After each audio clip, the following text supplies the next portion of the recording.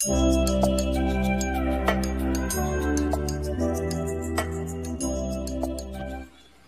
True Friend Once there were two friends, a squirrel and a puppy.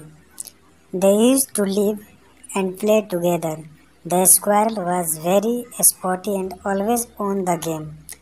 The puppy used to feel bad and thought that it was of no use.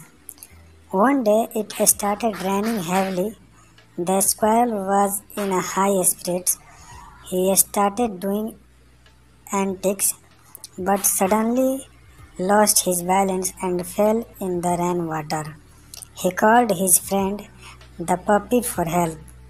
The puppy came to his rescue. The squirrel climbed on its back and reached a safe place.